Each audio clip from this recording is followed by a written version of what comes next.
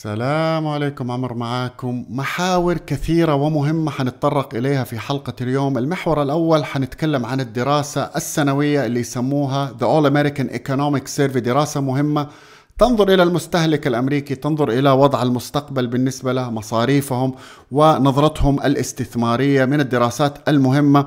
أيضا في حلقة اليوم حننظر إلى الأسواق الأمريكية ويسألوني كثير من الأصدقاء ليش الأسواق قاعدة ترتفع بهذا الشكل يا عمر؟ حقدر أقول لكم نقطة مهمة جدا إنه إفلاس البنوك الأمريكية كان أفضل خبر لأسواق الأسهم ولو لفترة مؤقتة. أيضا في حلقة اليوم حننظر إلى القوائم المالية بالنسبة لشركة نتفليكس هي ربما افتتاح لل mega cap companies بالنسبة للأسواق فأيضا حتطرق إلى أهم ما جاء في تقريرهم المالي. فحتكون حلقة مهمة مفيدة. نبدأ أول شيء بدراسة الأول الأول امريكان ايكونوميك سمري هذه الدراسة تعتبر أكثر من مئة ألف شخص يعملوا دراسة على وضع الاقتصاد وضع المستقبل بالنسبة لهم وضعهم الاستثماري التكلفة بالنسبة لهم. دراسة من وجهة نظري من الدراسات المهمة وتعتبر من الدراسات اللي تقدروا تقولوا في محلها. يعني تتطابق مع الوضع القادم بالنسبة للاقتصاد. طبعا الدراسة ما كانت جيدة أبدا. بتقول لك تقريبا 6 69% غير متفائلين ونظرتهم المستقبلية أيضا غير متفائلة. هذا يعتبر رقم all time high بالنسبة له. أيضا لو تسألوا 53% يعتقدوا أنه الاقتصاد الأمريكي حيزيد سوءا في الفترة القادمة. أيضا يعتبر all time high. ولما يسألوهم على الاستثمار 24% يقول لكم إنه هي فترة جيدة وتقريبا نقدر نقول 75% لا يعتقد إنها فترة جيدة بالنسبة للاستثمار. أيضا الدراسة مهمة وتعطيك مقارنة بين ما حدث في 2008 و2023 باللون الأصفر في عام 2008 يعطيك نظرة إنه 95% كانوا غير متفائلين يعتقدوا إنه الاقتصاد غير جيد في عام 2008 ولكن شوفوا تقريبا 39% كانوا متفائلين بالمستقبل كانوا متفائلين إنه الوضع حيتحسن. لو ننظر إلى عام 23 85% يعتقدوا أن الوضع الاقتصادي غير جيد ولكن فقط 18% يعتقدوا أنه الوضع سيتحسن. ليش تقول هذه الإحصائية بهذا الشكل؟ أقدر أقول لكم يعني ربما بناء على أيضا دراسة اللي عملها والحلقة اللي سواها ري داليو كانت من الحلقات الممتعة. لو تحبوا أشارككم بأهم ما جاء في هذه الحلقة مقابلة كانت تقريبا ساعتين لري داليو. طبعا يتكلم في هذه المقابلة عن أشياء رئيسية. ليش المستقبل مظلم بعض الشيء في أمريكا؟ أول شيء الخلافات بين الديمقراطيين والجمهوريين. يوجد يعني تشدد يميني وتشدد يساري في أمريكا. كل هذا حيزيد على وقت الانتخابات في عام 24 أيضا لا تنسوا المنافسة الشديدة الشرسة ربما حتى تكون الغير إيجابية بين أمريكا والصين والعلاقة المتوترة بشكل عالي غير الحروب اللي قاعدة تصير أمامنا. أيضا يتكلم في آه، ري داليو في هذا أنه الناس والدولار الآن بدأ يصير في هجوم شديد على الدولار والتجارة العالمية اليوم أصبحت في ملك الصين والصين الآن ربما تريد أن تنوع استثماراتها تنوع العملات الأخرى. حتى الدول الأخرى ربما تريد أن تنوع العملات اللي عندها هذا كله حتزيد الضرر بالنسبة للدولار. حتى الدين يا جماعة الديون العالمية كلها ربما تكون بالدولار الآن مع وجود تجارة اقتصادية أكبر مع دول أخرى. ربما الدين يبدأ يتحول إلى عملات أخرى. غير إنه طبعا ربما الضوابط اللي حطتها أمريكا على بعض الدول يعني و أثر هذه الضوابط ربما تخوف كثير من دول العالم. يتكلم بطريقة مفصلة عن أشياء جميلة من وجهة نظري كانت حلقة مميزة جدا. ولكن أقدر أقول لك نرجع للدراسة إنه المستقبل بالنسبة لأمريكا الدراسة تقول لك إنه غير جيدة. أيضا ري داليو يقول لك على أمريكا العمل الكثير من ناحية الإنتاجية آه، عشان تتحسن الوضع بالمستقبل. أيضا في هذه الدراسة يتكلموا عن وضع الدخل المواطن مقارنة بالتكلفة. تقريبا 67% تقول لك أنه يعني صراحة التكلفة صارت أكثر من الدخل وبنتأزم في دفعات اللي علينا. كل هذه يا جماعة توريك أنه المستهلك الأمريكي في مرحلة خطيرة. حتى البنوك شفناهم يا جماعة. الديون قاعدة تزيد ديون ال credit card والإيداعات قاعدة تقل. كلها علامة استفهام أنه المستهلك بدأ يتعب. في تقرير أيضا من رويترز تؤكد هذا الكلام أنه المستهلك يتخلف ويتخلف عن دفعات القادمة. عملت طيب تسألوا كثير من الأصدقاء يسألوني عمر طيب كل هذه الكلام كل الأشياء السلبية اللي بنتكلم عنها ليش أسواق الأسهم قاعدة ترتفع؟ ليش ما يعني صار في نزول بالنسبة للأسواق؟ وصراحة يعني عملت كده وقاعد أفكر شوفوا هذه الإحصائية أو الدراسة اللي عملتها بشكل سريع. طبعا لو ننظر إلى الأسواق الأمريكية في عام 2023 بدأت بداية العام إلى شهر فبراير كانت ارتفاع مميز بالنسبة له. ولكن عندما دخلنا في منتصف شهر فبراير بدأت تطلع تقرير التضخم. ما كان على نزول. دائما نقول ال services ال core CPI كانت على ارتفاع. حتى طلع الفدرالي في جاكسون هول وقال إنه الوضع غير جيد طاحت الأسواق بشكل كبير. ربما وصلت إلى 7% نزول. زي ما أنتم شايفين في منتصف فبراير نزلت إلى أن حكمل في March 10 ركزوا على رقم March 10 في هذه الفترة لو تتذكروا النزول السبعة في المية كان الكثير يتكلم أنه الفدرالي حيرفع 50 نقطة. حتى أنا تكلمت أنه يجب على الفدرالي أنه يرفع 50 نقطة. كانت الأسواق قاعدة تنزل نزول شديد. ثم ماذا حدث في March 10 تبدأ تسير أزمة البنك سيليكون فالي زي ما أنتم شايفين. في March 10 كانت ال low بالنسبة للأسواق الأمريكية. جاء بنك سيليكون فالي أعلن إفلاسه مرحلة خوف كبيرة بالنسبة للعالم ككل إنه هل هذه حتكون مرحلة انتشار وربما ندخل في عام 2008 وتنتشر هذه الأزمة للبنوك الأخرى؟ أكدت لكم في هذه الحلقة ربما في الحلقات الماضية إنه أزمة البنوك حتكون أزمة ربما للبنوك الصغيرة وليس للبنوك الكبيرة. طبعا ماذا حدث؟ وحدث تدخل الفدرالي ماذا قام الفدرالي الفدرالي قام وقال حناخذ السندات بالنسبة للبنوك. كانت هي مشكلة سندات في النهاية السندات اللي اشتروها نزلت أسعارها بسبب الفائدة العالية العلاقة المعاكسة. فإيش صار؟ الفدرالي أخذ منهم السندات الطويلة وأعطاهم سندات قصيرة عشان يعمل balance ويضيف السيولة بالنسبة لهم ويحمي أموال المودعين. طبعا الكل يعتقد في وول ستريت إنه الفدرالي الآن بدأ يضخ سيولة من جديد. وطبعا ماذا حدث؟ ارتفعت الأسواق بشكل كبير 7% فعملت هذه التغريدة أقول لكم ربما تكون أنه إفلاس البنوك كانت أفضل خطوة ولو مؤقتة بالنسبة للأسواق الأمريكية ولكن تأكدوا تأكدوا أنه المشكلة لم يتم حلها والتدخلات الحكومية هذه اللي قاعدة تصير هي فقط بتأجل المشكلة وبتزيد مشكلة التضخم. والتضخم تأكدوا أنه الشهر القادم من وجهة نظري حيكون ما هو على نزول ربما على ارتفاع خاصة مع أسعار النفط. ولكن زي ما أنتم شايفين ارتفعت الأسواق بهذا الشكل.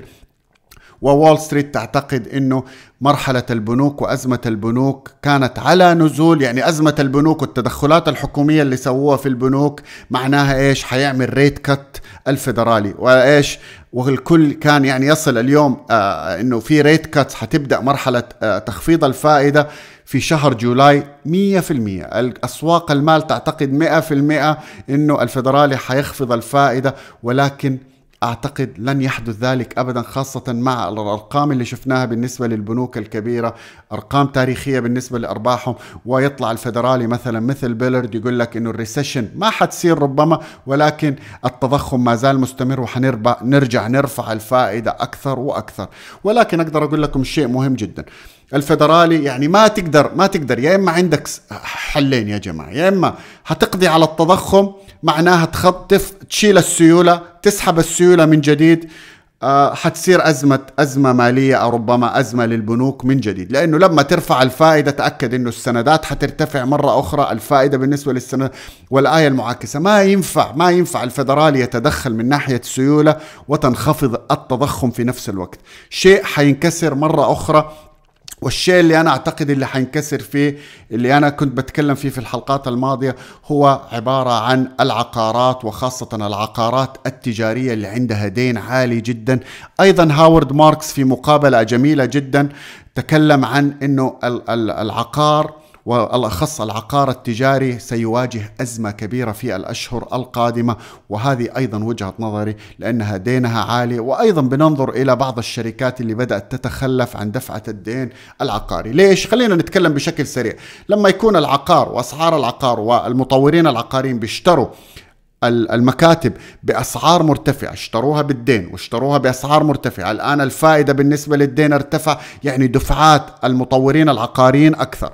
طبعا لما يكون في أزمة الآن في العقار وخاصة ال commercial rates كلها المؤجرين ما يبوا يدفعوا نفس الأرقام. في كثير من الناس والشركات بيشتغلوا من المنزل مثلا في سان فرانسيسكو في لوس أنجلوس. كثير من هذه الأزمة قاعدين نشوف فأسعار العقار قاعدة تنزل الإيجار وفي نفس الوقت الدفعات بالنسبة للمطورين العقار قاعدة تزيد.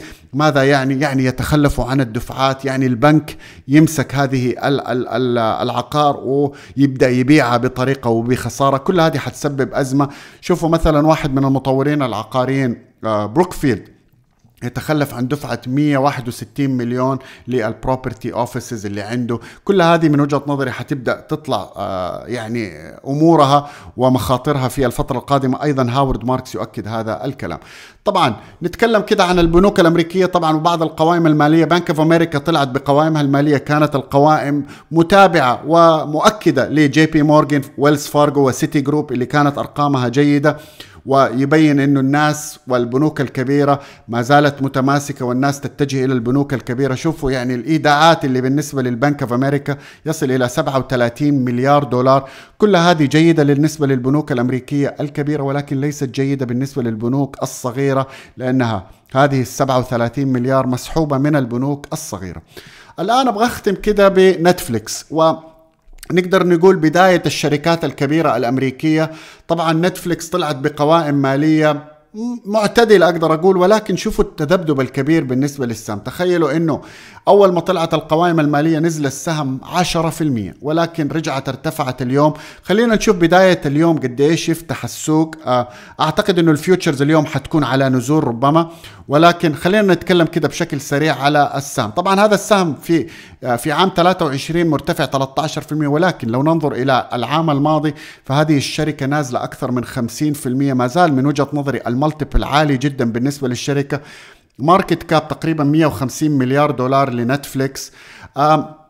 تعتبر زي ما قلنا من ال mega caps أكبر الشركات اليوم هي اللي بتطلع أول الشركات اللي بتطلع بقوائم المالية. طبعا كانت beat بالنسبة لل EPS أو ربحية السهم الواحد ولكنها miss بالنسبة للمبيعات تقريبا 8.1 آه، مليار فقط نمو 3% لو ننظر إلى السبب الرئيسي من وجهة نظري اللي خلى السهم ينزل بشكل كبير جدا هو توقعاتهم للربع الثاني والتوقعات كانت غير جيدة ابدا 8.2 التوقعات. آه، توقعات المحللين بالنسبة لوول ستريت كان 8.4 آه، 8.4 مليار ففي فرق تقريبا يعني رقم مش بطال في ال forecast بالنسبة للمحللين. آه لو ننظر بشكل سريع إلى الشركة طبعا لو نذكر الناس ماذا فعلت نتفليكس؟ نتفليكس عملت من وجهة نظري جازفت بعض الشيء ب يعني عندها الآن subscription base وعندها subscription base مع الدعايات وال subscription base مع الدعايات سعرها أرخص من المنتجات اللي بدون دعايات. فلو ننظر إلى مبيعات الشركة زي ما أنتم شايفين المبيعات كانت جيدة يعني النمو مش كويس تقريبا لأنه هذه شركة تعتبر technology غير إنه ال multiple بالنسبة لها 29 فلما الشركة ما تنمو بشكل كبير يعني هذه كلها علامات استفهام لماذا ال multiple بالنسبة للشركة 29 والنمو قليل جدا. ولكن ما علينا.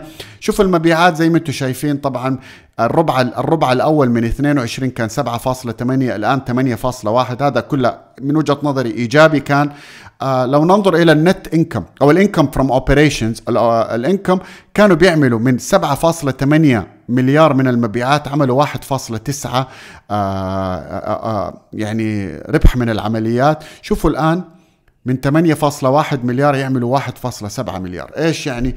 يعني يا إما المبيعات بالنسبة لهم زادت صحيح ولكن التكلفة أيضا زادت بشكل يعني يعطيك أنه الأرباح والهوامش الربحية بالنسبة للشركة نزلت. لو ننظر ونعمل مقارنة من سنة لسنة من 25% بيعملوا من آه، من العمليات الآن بيعملوا 21% والمتوقع الربع القادم شوفوا الهوامش حتنزل وأيضا شوفوا الربح من العمليات. حيزيد حتزيد المبيعات 8.2 ولكن الربح من العمليات حينزل يعني الهوامش الربحية حتنزل.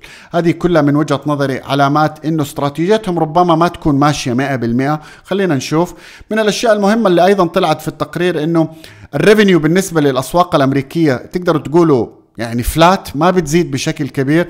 اللي بيخلي الأرباح والمبيعات تزيد بالنسبة لنتفليكس؟ ما هي ال members؟ إنما الزيادة في السعر. بيزيدوا أسعار الاشتراك في نتفليكس في الأسواق الأمريكية. يعني الاشتراك اليوم صار 16 دولار. شوفوا الربع في عام 22 كان 14 دولار. فشوفوا هذا اللي بيخلي النمو بالنسبة لها ليس عدد ال subscribers. أما في آه، منطقة أوروبا والشرق الأوسط فالآية معاكسة. المبيعات قاعدة تزيد أو flat نقدر نقول ولكن السبب الرئيسي هو ليس الأسعار الأسعار زي ما أنتم شايفين قاعدة تنزل ولكن ال members قاعدين يزيدوا. أقدر أقول لكم خلينا نشوف الأسواق الأمريكية. من وجهة نظري أرقام نتفليكس كانت مش بطالة لا تستاهل إنها تنزل 10% ولكن أوريكم الربع الثاني بالنسبة للشركة بيعطيكم انطباع إنه الوضع غير واضح. أيضا مبيعات أكثر بالنسبة للشركة مع أرباح أقل كل هذه من وجهة نظري آه، علامات آه، علامات استفهام خاصة إنه ال multiple بالنسبة للشركة عالية مقارنة بالنمو اللي قاعد يشهده خلينا نشوف الأسواق الأمريكية ماذا يحدث عندنا. القوائم المالية بالنسبة لتسلا اليوم من وجهة نظري أرقام مهمة جدا. طبعا في الختام اللي يحب يتعلم أمور الاستثمار أكثر إدارة الأموال كيف نستثمر بطريقة علمية كيف نستثمر بطريقة آه، محافظة أيضا كيف نبني المحفظة الاستثمارية للأولاد للتقاعد لغيره كورس متكامل 20 ساعة من المحتوى تلاقوا تفاصيله في الديسكربشن أيضا الدورة الشخصية واحد لواحد اللي عنده محافظ مدارة من مدراء نقدر نعطيكم وجهة نظرنا نعمل دراسة على سيكولوجية وأفضل آلية بالنسبة للاستثمار بالنسبة له. أيضا تلاقوا تفاصيلها في ال description واللي يحب يدعم القناة تلاقوا تفاصيلها في الديسكربشن شكرا وإلى اللقاء.